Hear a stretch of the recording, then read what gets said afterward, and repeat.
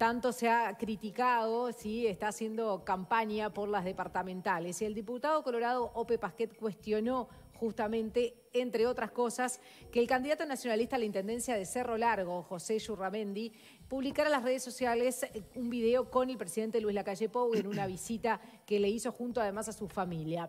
Luego lo borró, este video fue borrado. El legislador apuntó contra el político Arachana, quien acusó de estar utilizando la imagen del primer mandatario para beneficiarse de la campaña electoral. Anoche el propio candidato a la Intendencia dio declaraciones y dijo que en realidad eh, el presidente no tenía nada que ver y comunicó la decisión de bajar el spot de las redes sociales. No es un error del presidente ni ningún tipo. Nosotros nunca queremos poner la investidura al presidente por encima de nada. Simplemente este, fueron tomas que, se viralizaron en redes y que bueno y que la prensa local tomó. Lo hablé con él y, también vi el Twitter que hoy publicó posteriormente a, nuestra comunicación telefónica diciendo que bueno que resaltaba mi actitud de bajar este tipo de publicidad de las redes oficiales. Bien, y uno de los que advirtió que se está violando el artículo 77 de la Constitución es el diputado del Partido Colorado, Ope Pasquet, a quien tenemos en el móvil. Buenos días, Pasquet. Buen día, ¿qué tal? Muy bien, gracias por recibirnos. Bueno, ayer advirtió vía Twitter de, esta situación. Además, ¿tuvo alguna conversación eh, telefónica o personal por lo que está sucediendo? Sí, mire, después de que yo publiqué ese, ese tweet, eh, el señor José Yurramendi tuvo la delicadeza de llamarme y decirme que en atención a los comentarios que yo había formulado, él iba a retirar ese spot publicitario y así lo hizo. Y me parece que es un, lindo gesto que hay que resaltar. Eh, así que bueno, creo que este incidente se puede dar por superado de la mejor manera. Bien, Pasquet, ¿qué es lo que dice el artículo 77 de la Constitución? ¿Cuándo, se estaría violando? Es el artículo 77, numeral quinto. Ese artículo tiene muchos numerales, el que concierne al presidente es específicamente el numeral quinto, que dice que el presidente de la República, así como los ministros de la Corte Electoral, no pueden formar parte de comisiones o clubes políticos, ni actuar en los órganos directivos de los partidos, ni intervenir de ninguna forma en la propaganda política de carácter electoral. El giro de la Constitución es claro y categórico, no puede intervenir en ninguna forma. Entonces me parece que teniendo esto a la vista, bueno, el, criterio de actuación es muy claro, no se puede intervenir en ninguna forma en la propaganda política de carácter electoral. Bien, acá es clarísimo, ¿no? Porque subió un video donde estaba con, el presidente la imagen. Pero ¿qué pasa con estas recorridas? Y además, digo, y, el video cerraba con una placa que decía Yurramendi intendente. O sea, era obviamente, indiscutiblemente, una pieza de campaña electoral. Por eso estuvo muy bien Yurramendi al levantarlo. Ahora, eh, buen día, Pasquet. Eh, hace unos buen días... Día, Leo. Cuando, cuando el presidente viajó a Salto, el senador Tabaré Viera, del Partido Colorado también, eh, comentó que en Twitter, ¿no? Qué lástima, el Poder Ejecutivo y el propio presidente con todo su peso llegan en plena y disputada campaña departamental asalto. Inaugura el polo educativo en la Comisión Técnica Mixta, donde el reciente presidente es el candidato del Partido Nacional. Y estas visitas del presidente que, a los departamentos, como la criticaba el senador Viera, han merecido también otros cuestionamientos en la visita que va a hacer hoy a, a, Rocha. y también va a ser luego a Maldonado. ¿Qué le parece a usted, Pasquet? Y mire, me parece que son situaciones eh, de, casi clásicas de, campaña electoral. Hace unos años los que recibían las críticas eran Tabaré Vázquez o José Mujica y algunos de los que hacían las críticas era precisamente eh, Luis Lacalle Pou. Eh, hoy Lacalle Pou es el presidente pero y eso ha cambiado, pero la norma constitucional es la misma. Yo entiendo que hay situaciones ambiguas, equívocas, hay zonas grises. El presidente va a un lugar a cumplir una actividad oficial, inaugura una escuela, un tramo de carretera, un hospital, y bueno, todo el mundo se saca fotos con él y después lo usa en la campaña electoral. Allí hay una zona de ambigüedad, una zona gris. Me parece que el criterio es estar a lo que dice la Constitución. Eh, la norma esta que, a la que nos referimos, el, numeral quinto del artículo 77, no prevé ninguna sanción. O sea que esto queda librado a la conciencia de cada uno. Somos todos grandes, la Constitución es clara, cada cual debe saber lo que tiene que hacer y en definitiva la ciudadanía juzgará. Es como pasa con las campañas electorales, que sabemos que hay tiempo para eh, iniciarlas por los medios de comunicación y eh, año a año o elección a elección vemos que hay quienes no respetan la veda y empiezan cuando se les antoja. Bueno, no hay sanción para eso. Es la ciudadanía la que tiene que juzgar. Ahora, eh, perdón, no, quería agregar algo que lo que está pasando en Rocha hoy con el partido Nacional y la campaña, en este caso, de José Carlos Cardoso, porque la visita a la calle Pou incluye tres recorridas, ¿no? Y lo que dice el diario El Observador hoy es que la difusión anticipada del cronograma de las actividades del presidente en Rocha se dieron a conocer mediante un flyer con los colores nacionalistas y el mensaje de José Carlos Cardoso, intendente lista 71.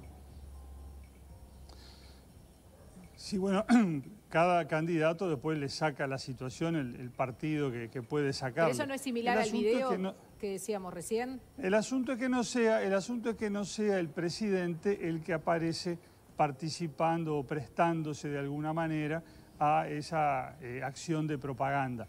Es un, límite fino, es cuestión de matices, es lo que hay que ver en cada caso, es imposible una, un criterio general o o una apreciación general eh, a priori además antes de que se produzcan los hechos. Pero me parece que el criterio es claro, el presidente no puede intervenir de ninguna forma. Lo que pasa que no, como, como bien apuntaba el senador Tabaré Viera, la campaña en Salto es una de las más reñidas, la campaña en Rocha es una de las más reñidas. Sí, sí, sí. no, no, no, no, es casualidad. Por eso, tiene, por eso el presidente tiene que extremar el cuidado, en cumplir su actividad oficial, que naturalmente tiene que cumplirse, pero evitando que digamos, prestarse de ninguna manera a la campaña electoral, a la propaganda electoral. Y, en ese sentido, su, preocupación puntual fue estrictamente sobre el, sobre el spot de, de Yurramendi o porque entiende que, en definitiva se está abusando de esas zonas grises que, que deja librada la Constitución. No, porque me pareció que ese spot eh, justamente no era ningún caso dudoso, no era ninguna zona gris, era un caso flagrante sí, rotundo, notorio, la, imagen presidencial rematando con una, en la placa este, Yurramendi intendente. Además, en el, en el video mismo, Yurramendi le presenta al presidente su plan de gobierno departamental. Digo, no sé qué más se precisa. No, no, está claro que, esa situación no, no quedan dudas. Este, la, pregunta apuntaba a esto otro que veníamos conversando. Si, si todas estas eh, situaciones que, que, claramente parecen darse en departamentos donde, donde efectivamente la campaña está librada, ¿a usted le, le, le preocupaban o, como en definitiva son zonas grises, este, entiende que allí no hay, no hay inconveniente? Pero no es una cuestión de, departamento, sería caprichoso elegir a uno y no a otro.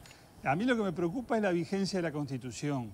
Donde quiera que se produzcan las situaciones dudosas o las situaciones de violación de la Constitución, quien quiera sea el beneficiario o el perjudicado.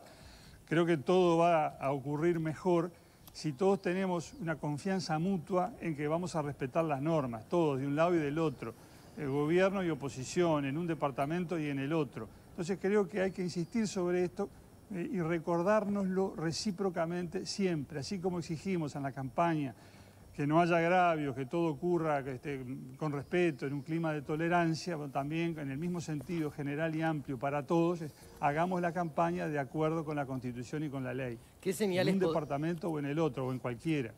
¿Qué señales podría dar el presidente para, durante estas recorridas para mostrar que no está, digamos, no, tiene intenciones de violar este artículo de la Constitución? Mire, yo no pretendo decirle nada menos que al presidente de la República lo que tiene que hacer. Ya ha demostrado que es un hombre que entiende mucho de política, por algo está donde está, tiene un criterio político claro, es abogado, conoce la Constitución, seguramente él sabe lo que tiene que hacer y lo que no tiene que hacer. Bien, le cambio de tema, Pasquet. ¿Qué evaluación hace del presupuesto nacional que se presentó hace algunos días?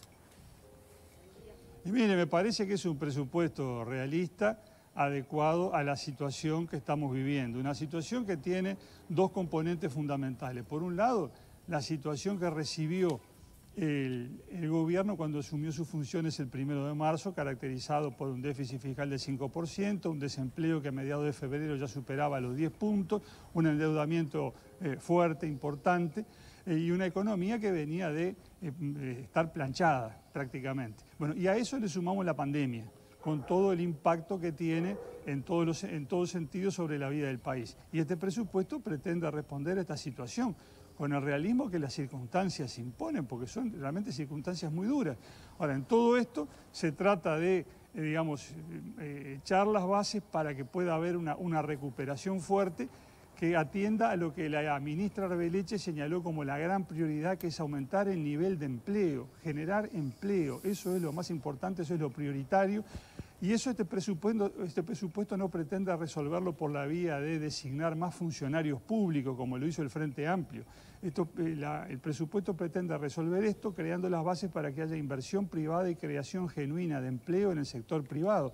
A eso apunta todo este, este diseño económico financiero del presupuesto. Por supuesto genera este, resistencias, la oposición, en ejercicio de su función, lo cuestiona todo, pero me parece que el rumbo general es claro y es el necesario. Me interesa aclarar algo. Alguno puede pensar que, eh, oyendo el discurso del Frente Amplio, que este año el gobierno piensa eh, ahorrar muchísimo dinero, apretar la plata y no soltar ni un peso. Bueno, eso no es así. Ya ha sido explicado por la ministra Arbeleche. Este año en el que el Producto Bruto Interno va a caer tres puntos y medio, el déficit fiscal no va a bajar, va a aumentar.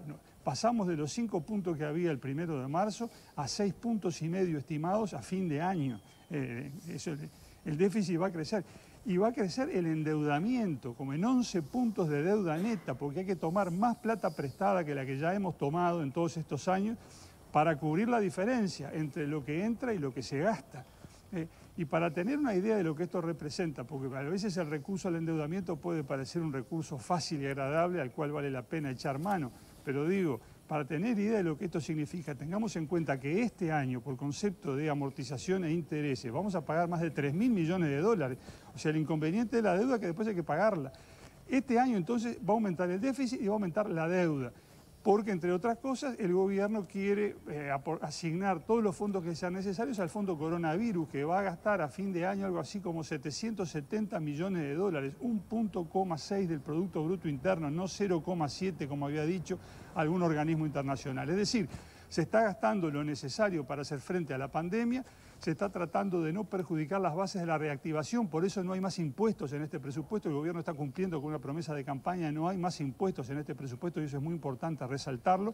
Y si hacemos las cosas bien y nos mantenemos en este rumbo, habrá una recuperación económica, el producto va a crecer, el empleo va a crecer y al final del periodo se habrá recuperado el nivel de salario que sí se va a ver perjudicado en estos primeros años porque eso es parte del efecto que ha tenido la, pandemia y las dificultades económicas en las que el país está. Ayer lo explicó muy bien el, ministro de Trabajo en la Comisión de Presupuesto y resaltó que el salario real se va a recuperar no por arte de magia, ni, ni porque la evolución de la economía asegure inexorablemente que eso va a ocurrir. Se va a recuperar porque hay una decisión política de que se recupere y esa decisión se va a cumplir. Eso es uno de los, de los temas que plantea COFE, por ejemplo, ¿no? que habla de que no, no confían en que realmente haya ese aumento del salario real. Hacerlo aclaró Arbeleche por lo que está diciendo. Exactamente. Eh, Bien, perdón, que me queda una duda. Los legisladores de la coalición eh, se comprometieron a respaldarlo así como está, porque en su momento también se habló tanto del Partido Nacional como del Partido Colorado, algunas que no estaban de acuerdo con el aumento de los sueldos eh, a los presidentes de las empresas públicas. usted mismo había dicho, no cayó bien en la población. Exactamente, mire, el rumbo general del presupuesto lo compartimos todos la, política general, económica y financiera definida en el presupuesto la compartimos todos y la vamos a apoyar.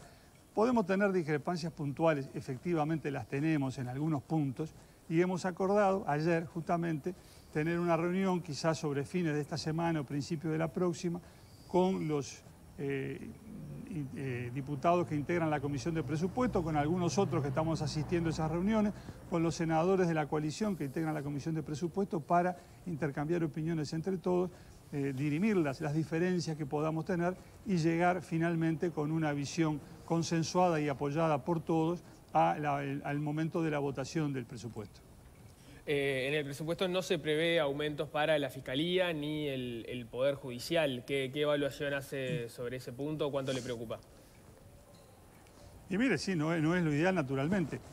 Vamos a mantener, eh, inicialmente por lo menos, lo mismo que ha venido pasando en años anteriores donde no había pandemia, ¿eh? no había pandemia, pero tampoco había aumento ni para el Poder Judicial, ni para, la, eh, ni para la Fiscalía General de la Nación, ni para el Tribunal de lo Contencioso Administrativo, ni para la Corte Electoral.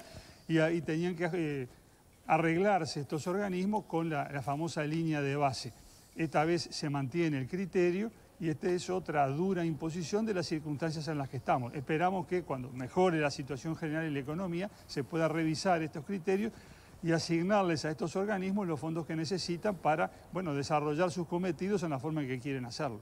Un, un, punto en el cual el propio gobierno ha dicho que se incluyó en el, en el, en el presupuesto, pero para ser discutido, que se espera que, que, que, que el Parlamento lo, lo, vea, es el del polémico cambio en la gobernanza del, de la unidad agroalimentaria eh, metropolitana. metropolitana, el ex mercado modelo. Eh, ¿Qué posición tiene Pasquet sobre este punto? Y me parece que es claramente un punto que requiere una mayor discusión. Eh, nosotros, lo digo, los legisladores de la, de la coalición gobernante tampoco estábamos enterados de esto, a nosotros nos, nos sorprendió y francamente me parece que una medida de esta naturaleza, eh, que puede ser buena, que puede ser necesaria incluso, no debe adoptarse sin un, un, un diálogo político previo que aclare eh, hacia dónde se va, por qué motivo, por qué razones, de qué manera se quiere llegar, buscando los acuerdos si es posible lograrlos, pero en todo caso hay que buscarlos. Me parece que eso está faltando en esta normativa, en esta parte que viene propuesta en, el, en la ley de presupuesto. Así que sería uno de los puntos que el, el Parlamento sí podría modificarlos, o espera que sí sea. Hay, hay acuerdo para buscar una, una solución que trate de lograr el mayor consenso posible. Veremos si se logra o no. Pero me parece que este es claramente un punto para conversarlo. Tranquilamente. Eh, y con disposición a, a, buscar consenso. ¿Qué otros puntos del, del, presupuesto habría que revisar, a su entender? No, mira, hay varios. Yo no, yo no tengo una, una si lista que destacar completa, dos o tres. Justamente.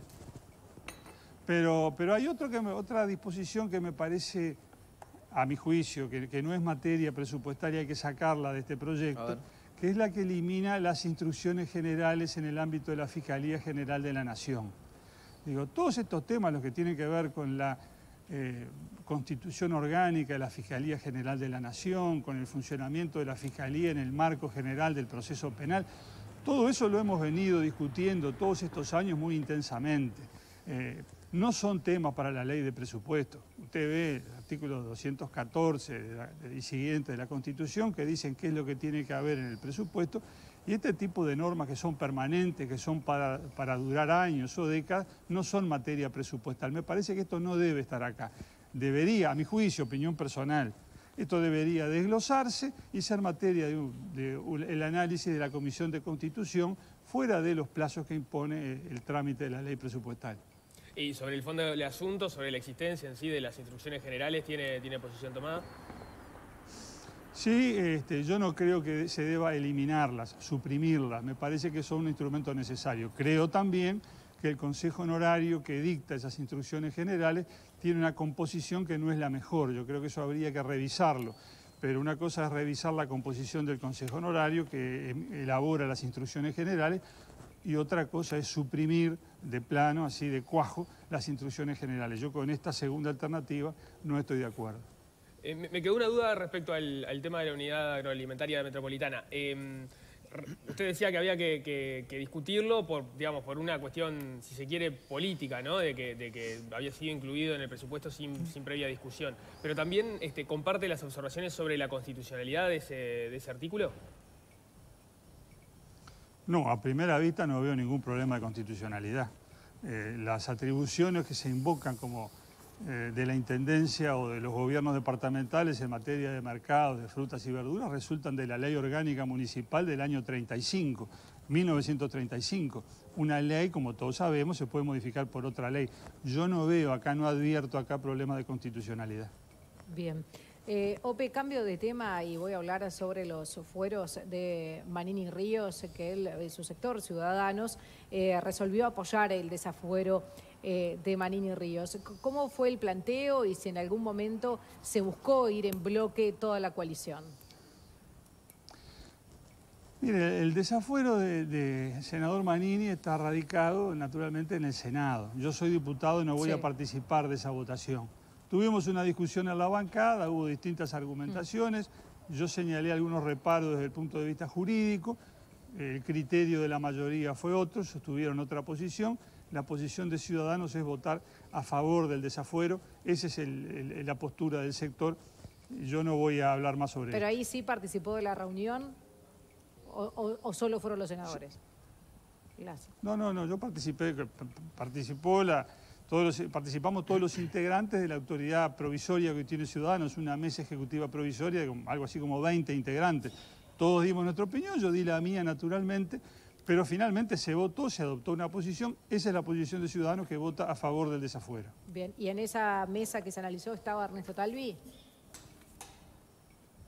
No, Ernesto Talvi, como es público y notorio, dijo que se retiraba de la actividad política, no participa de esas reuniones. Bien, no, pero nunca quedó claro que se retiraba de la política, que renunciaba eh, sí a, a- a Cancillería, que no iba a, su- a asumir su banca, pero como que quedaba, eh, por lo, por lo menos lo que entendimos los periodistas, es que quedaba ligado de una forma técnica y asesora del sector ciudadano, que se iba a tomar una licencia, pero como que no se desvinculaba de- del sector. No, él dijo que iba a seguir liderando los grupos técnicos, eh, que eso es otra cosa, pero esta no era una discusión técnica, era una discusión política, claramente. ¿no? Eh, eh, de- pero en definitiva, digo, Ernesto Talvi no participó de la reunión. Y- Pero ya se, ya se reincorporó de su descanso y está trabajando con los equipos técnicos. Mire, sé que él concurre a Ciudadanos, pero este, no, no estoy al tanto de qué actividad específicamente desarrolla. Bien. Bueno, no, queríamos consultar si, si usted no tiene idea, imagínense nosotros. Por eso lo- los periodistas queríamos saber cuál era la actividad que estaba Claro, pero digo, desarrollando. eh, el, hombre, el hombre dijo que se ha retirado de la actividad política. Es natural que no haya noticias sobre una actividad que no desarrolla.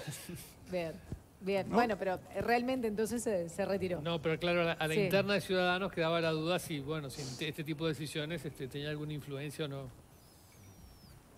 Bueno, reitero, no participó. Ok. Queda claro que no. Ope Pasquet, muchísimas gracias por este móvil. Con mucho gusto. Hasta Gracias, luego, las gracias. órdenes. Bien, queda claro que no, porque lo habíamos preguntado ya, Sí. Leo, vos se lo preguntás a cada uno que viene Sí. y nunca habían Esta sido... me, gan- me ganaste de mano. Sí, porque nunca habían sido tan claros como Pasquet, ¿no? Exacto. Que no, no participó, no participa y, y no sabe realmente qué, qué actividad está desarrollando. Exacto. Hablando Bien. de preguntas que hacemos y no quedan claras, A ver, ¿cuál- hay una que tengo hemos- que sacar un libro de eso, ¿no? bueno, acá aclaramos una, Bueno. finalmente, Sí. después, después de mucho preguntar, se aclaró. Eh, no, que habíamos, ¿se acuerdan cuando vino Pacha Sánchez que dijo que llamáramos a la sede del MLN para saber quién era la Sí. de- Y fue un la-